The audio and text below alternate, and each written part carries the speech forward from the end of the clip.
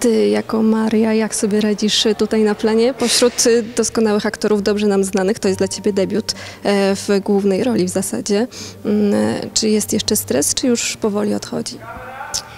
E, Na początku faktycznie był jakiś rodzaj onieśmielenia mm, wszystkim, bo gdzieś tam mm, było to dla mnie nowe, chociaż mm, studiowałam w szkole filmowej, ale jednak takie zderzenie z tym naprawdę e, powoduje, że, e, że człowiek, człowiekowi ko- towarzyszy jakaś ogromna ekscytacja, więc gdzieś tam walczyłam z tym, żeby za bardzo się tym wszystkim nie ekscytować, tylko, tylko faktycznie e, robić swoją, swoją e, robotę, która, którą jest właśnie mm, jakieś takie e, oddanie Oli.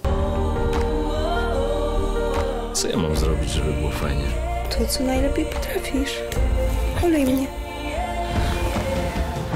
To jest niesamowite, że oni są na tyle profesjonalni, że jakby stwarzają taką atmosferę, że ja się czuję bardziej ich koleżanką yy, i, i nie czuję aż takiej różnicy zupełnie, zupełnie. Wręcz mam takie poczucie, że, że, że zaczynamy się przyjaźnić i to jakoś tak płynie i już teraz nie myślę kategoriami yy, właśnie jakiegoś stresu związanego z tym, że, że mają takie doświadczenie, bo to gdzieś zawsze jest i to przede wszystkim pomaga i sprawia, że ja staję się lepsza i, i gdzieś no, granie z nimi y, często mm, tworzy jakieś mikrokosmosy, których nie da się opisać i, i myślę, że, no, że, że one tworzą się głównie dzięki nim i gdzieś tam cieszę się, że mogę być zaproszona do tego świata.